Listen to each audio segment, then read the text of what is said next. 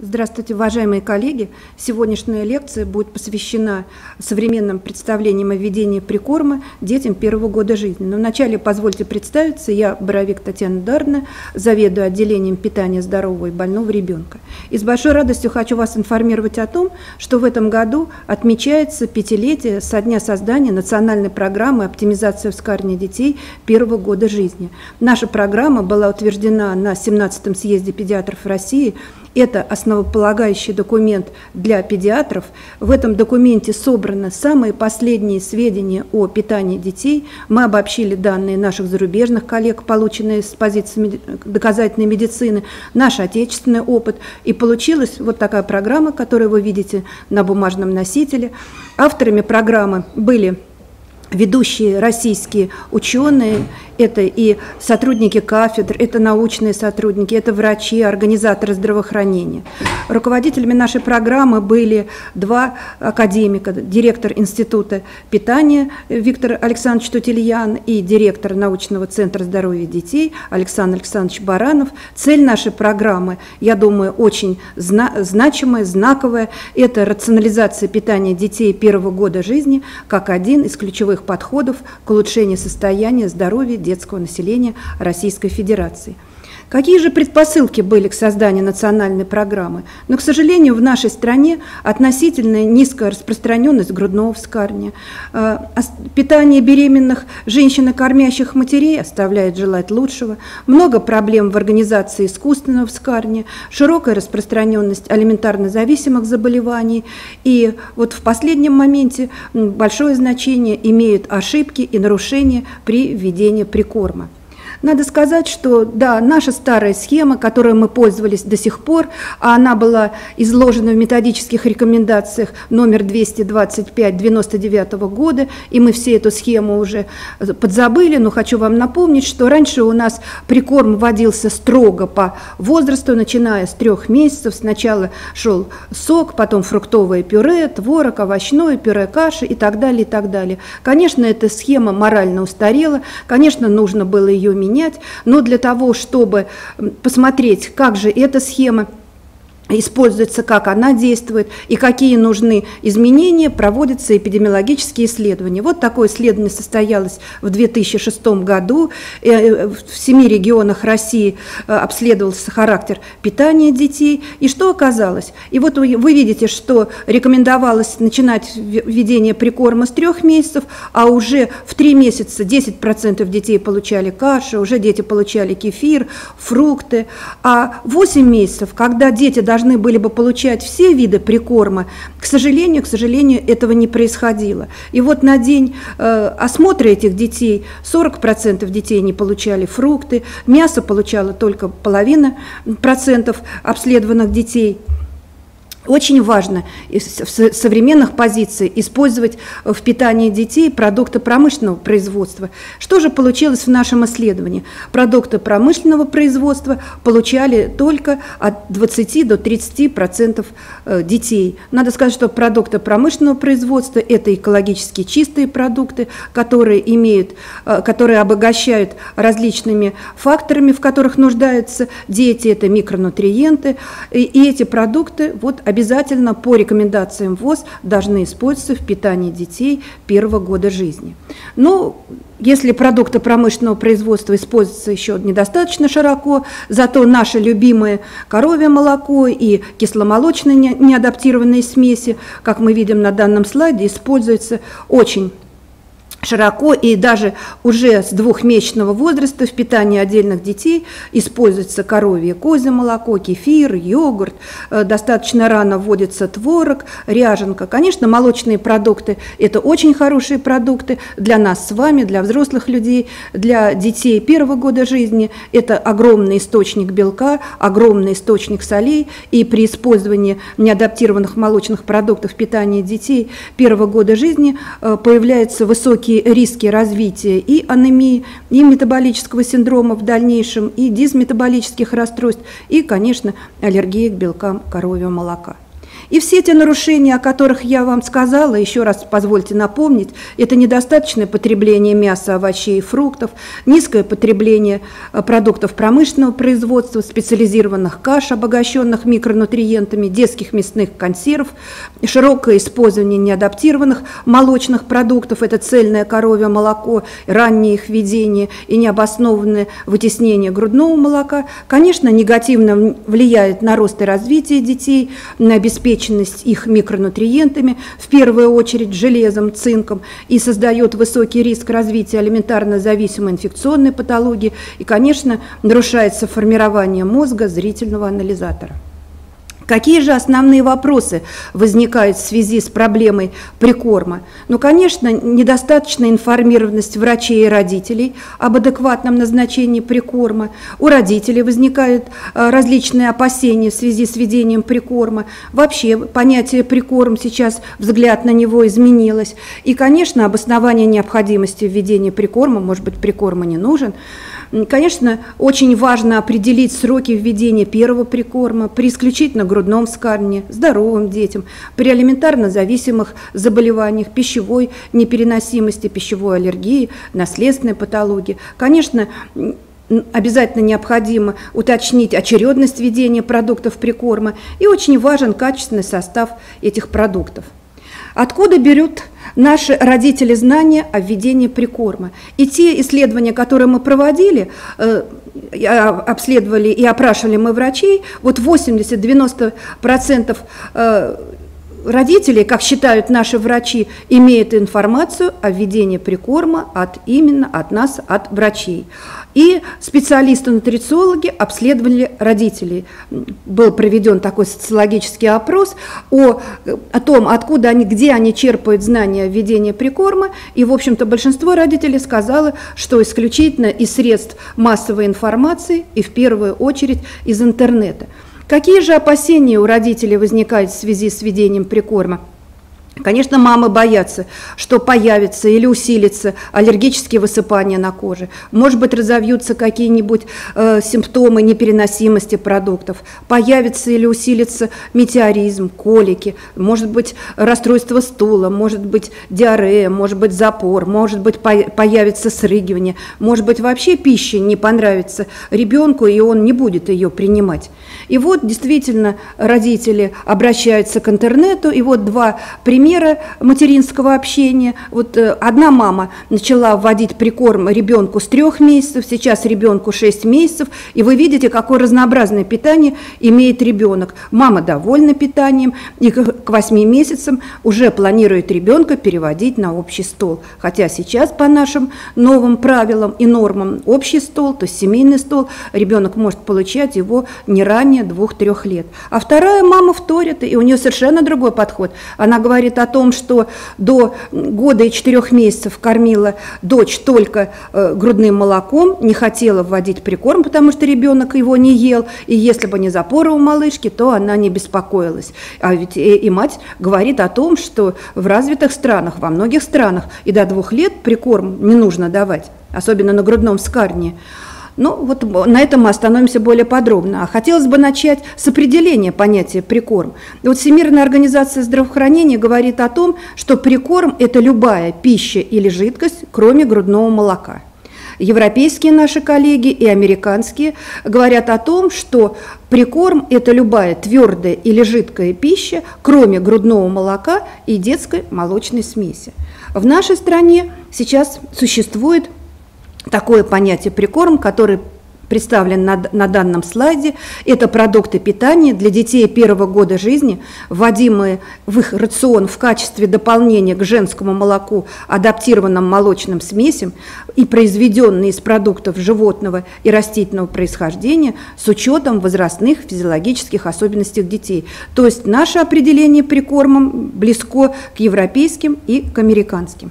И вот возникает закономерный вопрос, может быть, прикорм и не нужно вводить детям второго полугодия жизни? Ну, конечно, прикорм вводить нужно, потому что ребенок к концу первого полугодия, к началу второго полугодия жизни растет активно, его вес практически удваивается или даже больше увеличивается, ребенок вырастает на 10 сантиметров и более, и он для этого, для такого активного роста, ребенок нуждается в белке, в микронутриентах, прежде всего железе, цинке, кальции, витаминах.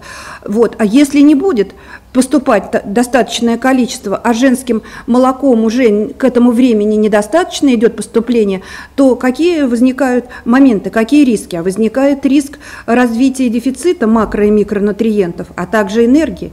И получая прикорм, с другой стороны, ребенок уже начинает тренировать и развивать свою пищеварительную систему, жевательный аппарат, стимулирует моторную активность кишечника. Получая прикорм, уже у ребенка вырабатывается навыки здорового питания, формируются адекватные привычки, и постепенно ребенок социализируется и может переходить, как мы с вами сказали, уже э, к концу первого года жизни на семейный стол.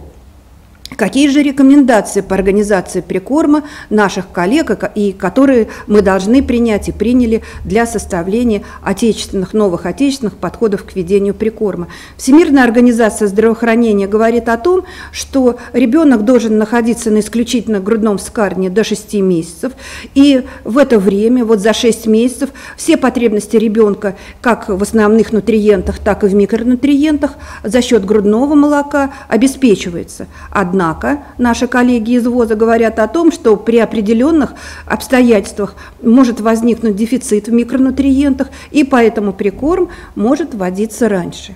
Наши коллеги из Европейского общества гастроэнтерологов, гепатологов и нутрициологов и такого же общества американского говорят о том, что да, нужно стремиться к грудному вскармливанию в течение приблизительно 6 месяцев, но прикорм нельзя вводить ранее 17 недель и позднее 26 недели жизни. Если мы переведем на близкие нам понятия, то с прикорм нельзя вводить ранее 4 месяцев и позднее 6 месяцев.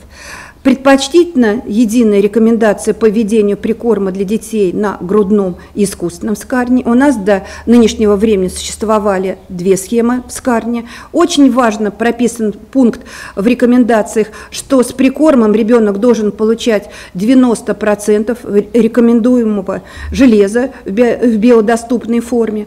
Коровье молоко нежелательно вводить в питание детей до одного года. Очень важно просчитать и посмотреть физиологическое созревание ребенка и вот сроки введения прикорма. Что опять-таки говорит нам Ибсган? Но говорит о том, что функция почек и пищеварительной системы в достаточной мере созревает к 4 месяцам жизни у детей доношенных, и дети уже могут нормально воспринимать продукты прикорма. И вот 4 месяца – это отправная точка, когда мы можем с вами безопасно вводить прикорм ребенку, но 4 месяца это совсем не обязательный срок, когда мы должны его начинать. Возраст формирования моторных навыков, необходимых вот для безопасного кормления продуктами прикорма, широко варьирует.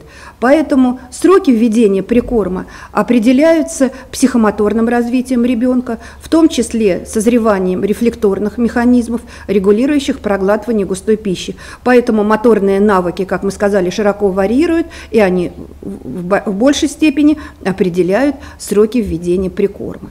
Значит, мы с вами определились, где-то от 4 до 6 месяцев прикорм вводить безопасно и, в общем-то, необходимо. Что говорят данные ВОЗа и что говорят данные наших зарубежных коллег, что происходит в действительности. Если мы посмотрим на эту табличку, то мы видим взяты разные страны, разных континентов, и средний возраст введения прикорма где-то от 5 до 6 месяцев. Но колебания введения прикорма мы видим от 1 месяца до 7,5 месяцев. То есть широкий диапазон э, возрастных моментов, когда вводятся продукты прикорма. А на рисунке мы видим, было проведено обследование в пяти развитых европейских странах. Там э, рекомендации ИБСГАНа соблюдаются очень строго, на основе этих данных составлены свои собственные рекомендации, и тем не менее, тем не менее 37% детей на искусственном скарне и 17% детей на естественном скарне получают прикормы ранее 4 месяцев. Какие же сроки введения прикорма нам нужны и на, на чем мы должны с вами основываться для того, чтобы ввести прикорм ребенку безопасно? Конечно, мы должны продумать о, риске, о риске развития инфекционных заболеваний, не будет ли развитие, появления инфекций при введении прикорма, не разовьются ли аллергические заболевания, не появится ли избыточная масса тела и не будет ли дефицит микронутриентов, и в первую очередь железа, когда мы будем с вами вводить прикормы в ранние сроки. Итак, влияние сроков введения прикорма на развитие инфекционных заболеваний. Да, риск развития инфекционных заболеваний при введении прикорма есть определенный, конечно, и он прежде всего имеет место быть в развитых странах. Я хочу сказать, что в Российской Федерации инфекционных рисков при введении прикорма у нас нет. Что же происходит в африканских странах и в азиатских странах слаборазвитых? Действительно, дети подвергаются влиянию, воздействию болезнетворных микроорганизмов, которые могут присутствовать как в продуктах питания, так и в жидкостях, то есть в той воде, которые будут разводиться продукты питания. Значит, они могут действительно быть заражены, увеличивается риск развития диспепти диспептических заболеваний и риск развития недостаточности питания. То есть, да, повторяю, инфекционные риски есть, но они в слабо развитых странах. Что же, приход... Э, что же происходит в развитых странах? Вот здесь на примере Великобритании и, и учеными было обследовано 16 тысяч детей, первого года жизни, и прикормы детям вводили в интервале от 4 до 6 месяцев. Но брали крайние точки в 4 и в 6 месяцев. Дети были на грудном или искусственном вскармливании, и учеными не было выявлено существенного повышения риска госпитализации по поводу э, острых респираторно-вирусных инфекций, острых кишечных инфекций в группе детей, которые получали прикорм. Но достоверно выше заболеваемость была, э, если дети находились на искусственном вскармливании, заболеваемость различными инфекциями. Следующий момент. Влияние сроков введения прикорма на развитие аллергических реакций. Для того, чтобы вводить прикорм, нужно действительно выявить сроки, да, как они влияют на развитие аллергических реакций. И было установлено, что введение прикорма до 12-недельного возраста ребенка, до 4 месяцев э, существенно повышает риск развития пищевой аллергии у детей, которые находятся в группе риска, то есть у детей с отягощенным аллергоанамнезом. Снижаются значительно риски, если прикормы вводят после 4-месячного возраста. Но, казалось бы, чем позже вводим прикорм, тем лучше, тем меньше риск развития аллергии. Но, но этой закономерности не получилось. И оказалось, что введение прикорма детям после 6 месяцев не предотвращает развитие пищевой сенсибилизации и атопического дерматита, а тем и наоборот – тем самым позднее введение прикорма усиливает сенсибилизацию к пищевым антигенам, и это чаще всего как раз наблюдается при позднем введении прикорма. И вот отсроченное введение прикорма после 6 месяцев и развитие аллергии. Что же оказалось? Обследовано более 5 тысяч детей, и эти данные представлены вот на слайде, который вы видите, и оказалось, что если прикормы вводят после 6 месяцев, а это касается и глютен содержащих каш, это касается и картофеля, и мяса, и рыбы, и вот это позднее введение прикорма существенно увеличивает э, риск развития сенсибилизации к пищевым аллергенам и даже к респираторным аллергенам. И сейчас считается так, что даже более позднее введение прикорма является большим риском э, развития аллергии, нежели введение прикорма в 4 месяца. Очень интересная работа была проведена нашими зарубежными коллегами, которые изучали влияние сроков введения глютен-содержащих каш на выработку а, аутоантител, характерных как для целиакии, так и ассоциированных с диабетом первого типа. Наблюдались дети из группы риска по целиакии, наблюдали здоровые дети. И на данном слайде вы видите, что если дети прикорм получали в интервале 4-6 месяцев, то и дети вот из группы риска по целиакии, и дети здоровые, то оказалось, что э, выработка соответствующих а, аутоантител у них был гораздо ниже, чем и уже сенсибилизация, а потом и, как говорится, реализация заболеваний гораздо ниже, и когда они получали прикорм вот в интервале от 4 до 6 месяцев. Если вводились прикормы ранее 4 месяцев или позднее 7 месяцев, мы видим, как этот риск существенно увеличивался. И в этих исследованиях было подчеркнуто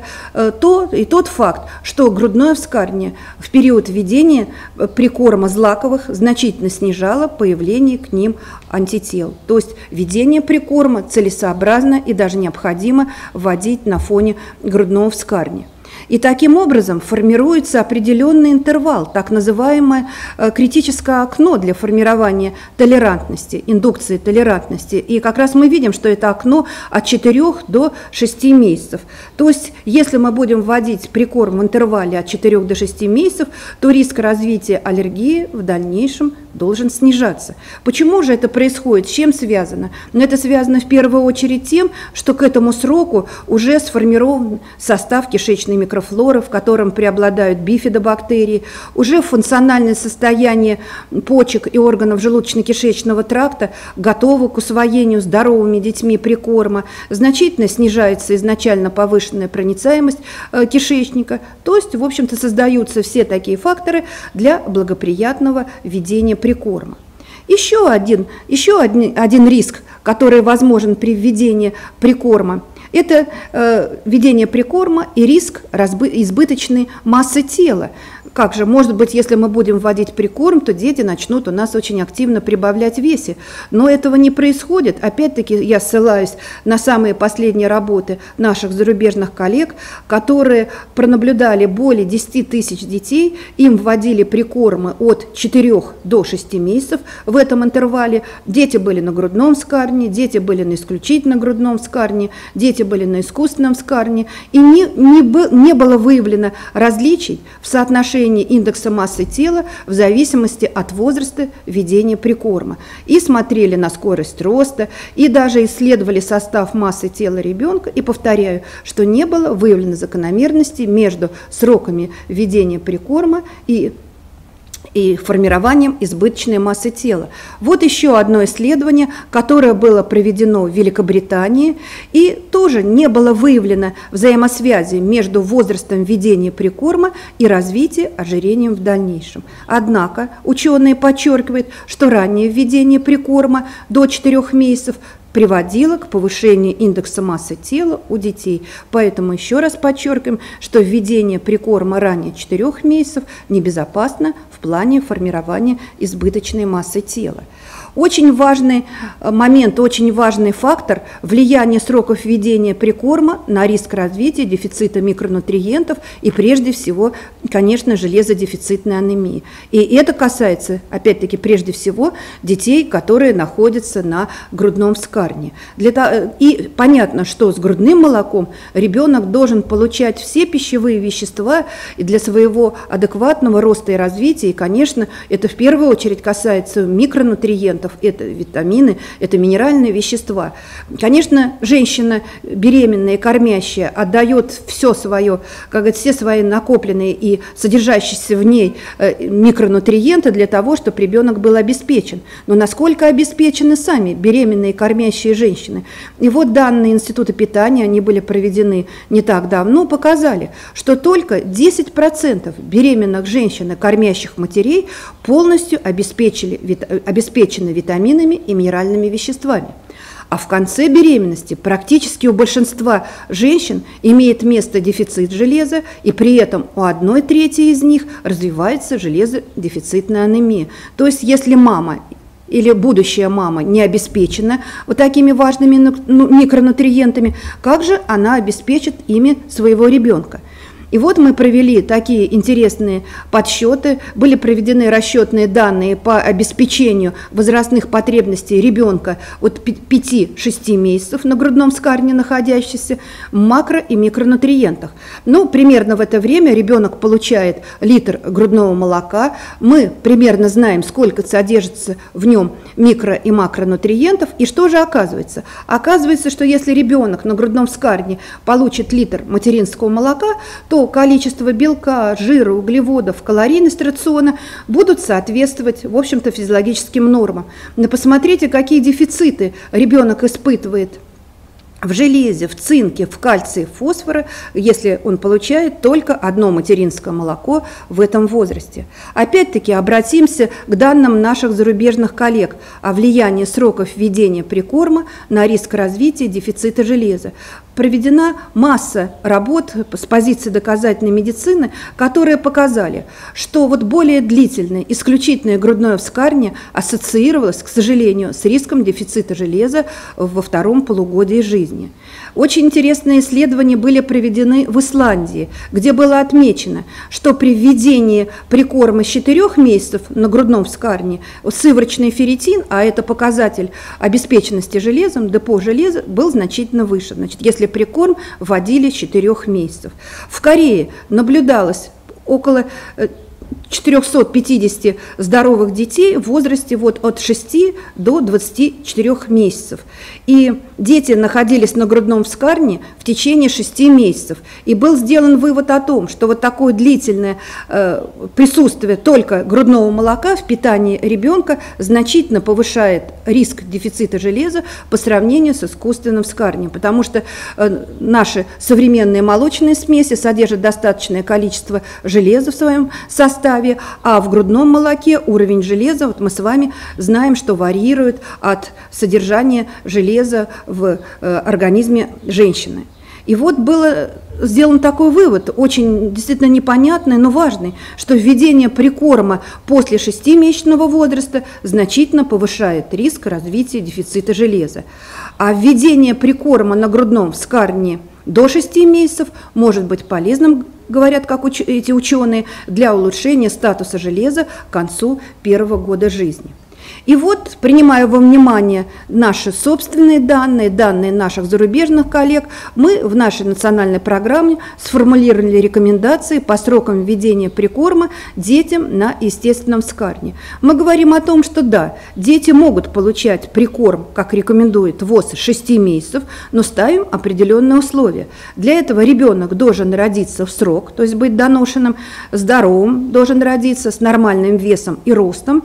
К 6 месяцам он должен быть практически здоров, он должен иметь адекватные показатели физического и нервно-психического развития. Очень важно, чтобы течение беременности матери было физиологическим, потому что мы знаем, что после э, у женщин, которые перенесли гистозы, значительно снижается в грудном молоке уровень как макро, так и микронутриентов.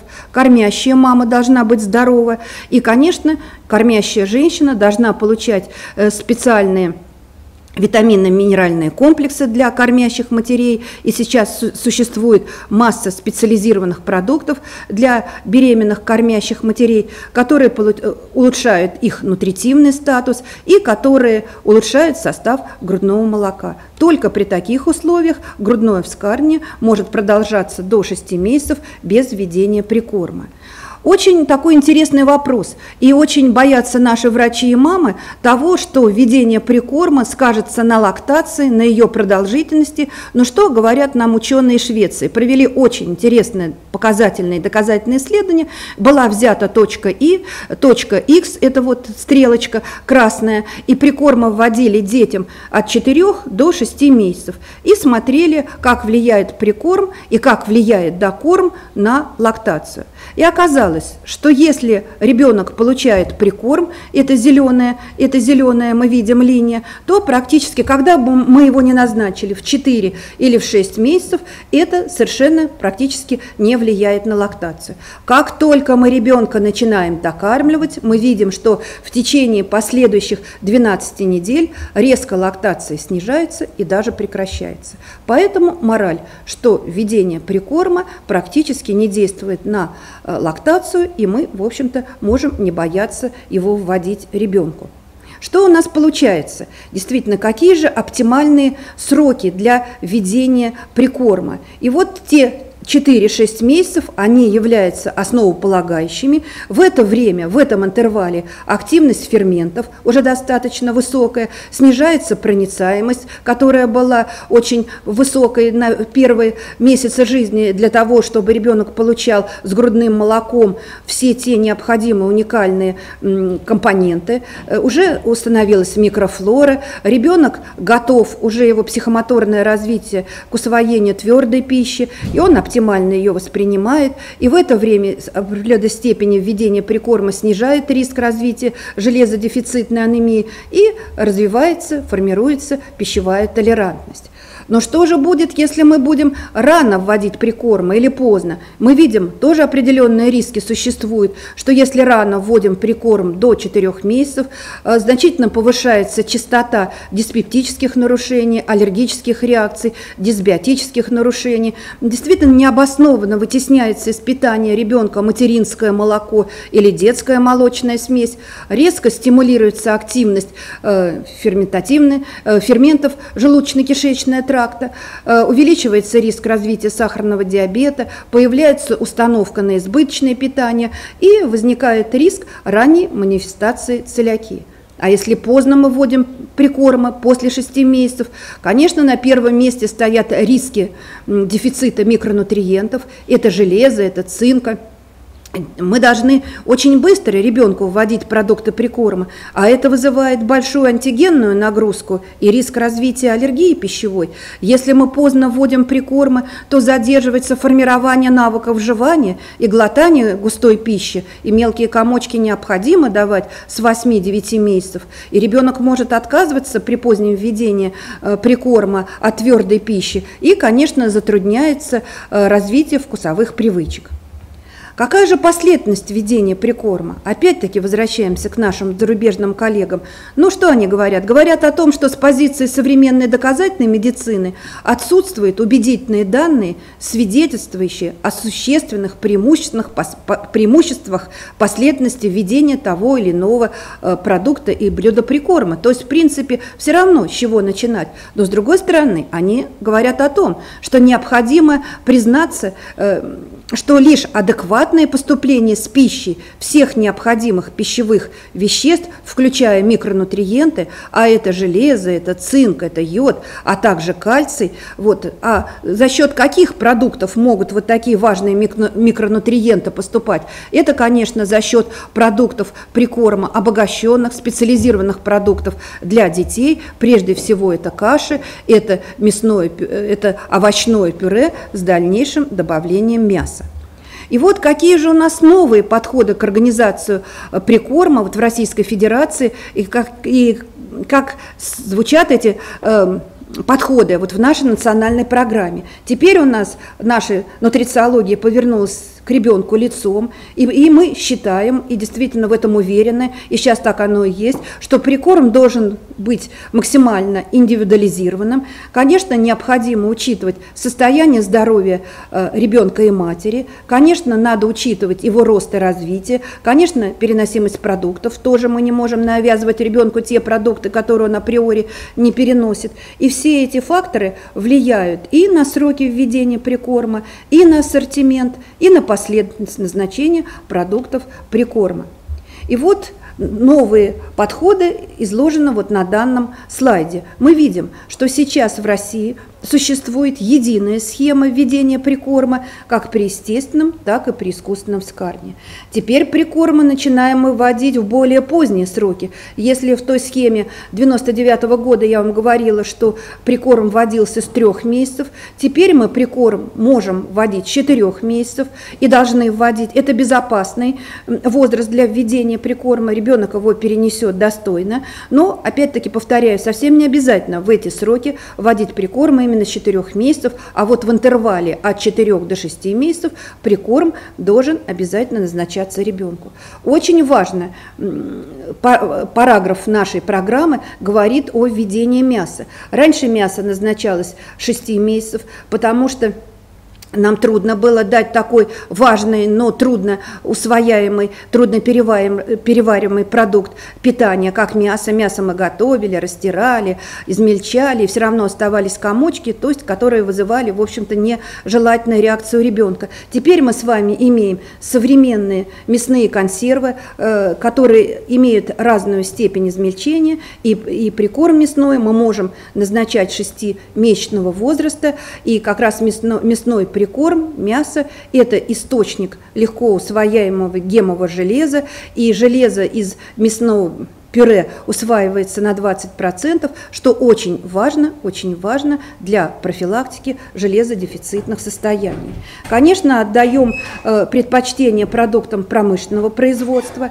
Что касается неадаптированных кисломолочных продуктов, таких как детский кефир, биокефир, йогурт, творог, йогурт, они назначаются не ранее 8 месяцев и в объеме не более 200 мл. То есть это совершенно новое. Раньше у нас даже на грудном скарне дети могли получать до 600 мл кисломолочных неадаптированных продуктов. Что касается цельного коровьего молока, то оно может использоваться только для приготовления блюд прикорма и в объеме не более 150-200 мл. Но в, новом, в новой редакции национальной программы, которая должна появиться появиться к концу э, этого года, использование молока будет рекомендовано не ранее одного года. И вот мы имеем с вами массу продуктов промышленного производства, и я уже говорила о том, что эти продукты не только готовят из, из экологически чистого сырья, и не только, они, и не только потому мы их любим и используем, что они имеют гарантированный состав химический соответствует строгим микробиологическим и гигиеническим требованиям, имеет оптимальную гарантированную степень измельчения и длительный срок хранения, а прежде всего потому, что эти продукты обогащены как мы видим, и витаминами, и минеральными веществами, пищевыми волокнами, длинноцепочными полинасыщенными жирными кислот, кислотами, антиоксидантами, пробиотиками, синбиотиками. То есть продукты э, прикорма промышленного производства рассматриваются как функциональные продукты питания, а функциональные продукты питания, они или улучшают состояние здоровья детей, или даже в определенной степени оказывают и лечебное воздействие. В настоящее время мы с вами можем ребенку первого года жизни составить прикорм за счет продуктов э, промышленного производства. У нас есть и фруктовые пюре, есть и мясные и рыбные пюре, есть у нас масса различных каш, как молочных, так и безмолочных, детское питание, есть у нас и прикормы на молочной основе, детские кефирчики, йогурты и творожки. То есть вот такие экологически чистые, безопасные, функциональные продукты есть в распоряжении врача, есть в распоряжении мамы, и они обязательно должны использоваться и превалировать в питании детей первого года жизни. И вот какая же все-таки последовательность введения продуктов прикорма мы рекомендуем и какая последовательность имеет место быть. Мы видим, что если мы начинаем вводить прикормы с 4 месяцев, то первыми продуктами выбора являются каша, овощное пюре. В дальнейшем к 5 месяцам мы можем вводить с вами фрукты, в 6 месяцев ребенок обязательно должен получать мясное пюре, уже после 6 месяцев соки, Ближе к 7 месяцам творожок, с 7 месяцев можем давать ребенку желточек и печенье. 8 месяцев ребенок получает рыбу и кефир. То есть вот такая приблизительная схема, которая разработана, которая должна внедряться, но эта схема, я еще раз повторяю, должна индивидуализироваться и подходить, и подстраиваться под каждого конкретного ребенка. Вот, например, какие показания к выбору первого прикорма промышленного производства могут быть? Вот у нас мы говорили, что первый прикорм или каша, или овощное пюре. Вот если ребенок имеет низкий нутритивный статус, ну, гипотрофия, как мы еще говорим, если у него нарушен характер стула, диарея, если у него железодефицитная анемия или склонность э, к снижению железа, то первым прикормом может быть каша промышленного производства, потому что каша обязательно обогащается и железом, и цинком, и другими очень важными микронутриентами. И, конечно, это будет молочная каша.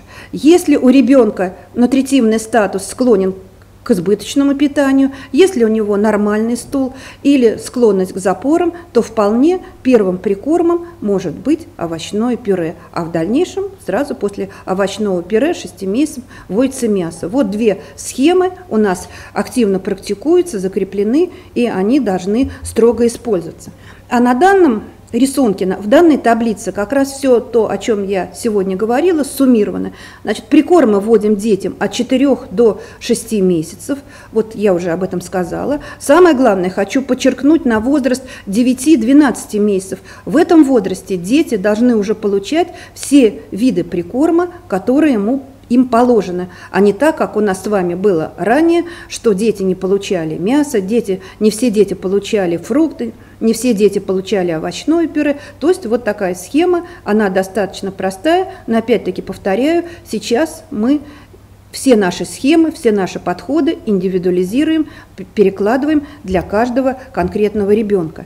И вот то, о чем я сегодня говорила, мне было очень приятно э, и вам об этом сообщить, что наша национальная программа одобрила, вернее, э, наша Государственная Дума одобрила нашу национальную программу по оптимизации вскармливания детей первого года жизни в Российской Федерации и в э, рекомендациях парламентских слушателей, слушаний на тему законодательное обеспечение государственной политики в области детского лечебного профилактического питания было отмечен э, тот факт, что в 2009 году была утверждена национальная программа по оптимизации вскармливания детей первого года жизни в Российской Федерации, где были пересмотрены подходы к ведению прикорма и сроков его назначения. Я думаю, что это очень высокая оценка нашего труда. Ну и в заключение хочу поблагодарить вас за внимание. И, конечно, это то, что, о чем я вам сказала, это действительно переворот в детском питании. И вот эта новая схема, новые подходы к ведению прикорма очень важны. И я хочу сказать с полной ответственностью, что они сейчас очень активно внедряются. И у нас сейчас нет практически детских учреждений, нет врачей, которые назначали бы прикорма, как это было ранее, с трех месяцев. Вот эта схема новая, она она уже проверена опытом, практикой, и она обязательно должна внедряться. Спасибо.